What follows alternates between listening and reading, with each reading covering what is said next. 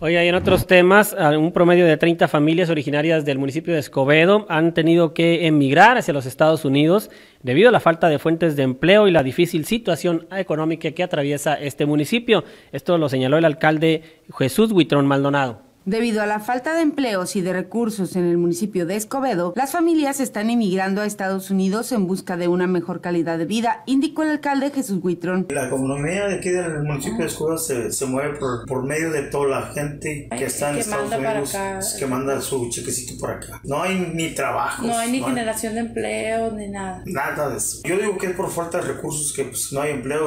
La mayoría de la gente ha emigrado. De este año que estoy aquí, sin mentirte, se han como unos 30 gentes y han llegado gracias a Dios. Y esa gente que está en Estados Unidos están mandando su chiquecito y es cuando están, están sobreviviendo su familia. Y aquí de plano no podemos crecer porque no hay recursos, ni para obras ni para nada. Y no hay manera de hacer una empresa ni de, atraer empleos porque no hay. Pues no hay recursos. Los muchachos que están allá en Estados Unidos están haciendo su casita y ocupan dos, tres gentes y así, porque ahorita no hay dinero Estaban con la esperanza de, del desempleo temporal, pero pues, como no había recursos, pues dijeron, pues ya no vamos a buscar la vida para allá. La gente es muy trabajadora. Tiene disposición de trabajar la gente, pero no hay, no hay empleo. ni el recurso para... para trabajar. Y la gente que que se fue sufriendo para poder llegar allá, para lograr la meta. Llegaron, gracias a Dios. Ahorita están mandando el recurso para sus familias y pues están trabajando allá, gracias a Dios. Para Zócalo Monclova, Silvia Mancha.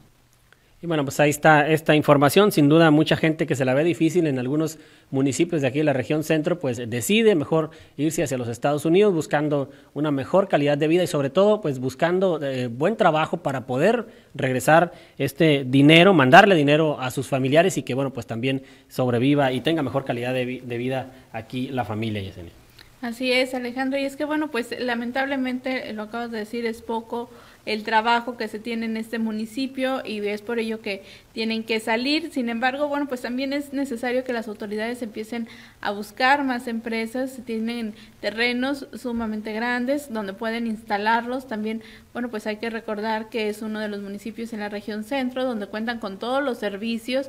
Eh, es un lugar que está cerca de la frontera también. Entonces, bueno, pues bien pueden conseguir alguna empresa y empezar a abrir eh, mercado también ahí, eh, abrir nuevas fuentes de empleo, porque aunque es un municipio pequeño, bueno, pues también hay que resaltar que existe una gran cantidad de personas y no todos tienen las posibilidades para irse a los Estados Unidos de Norteamérica a estar buscando trabajo. Y bueno, pues también es necesario que ellos estén cerca de su familia.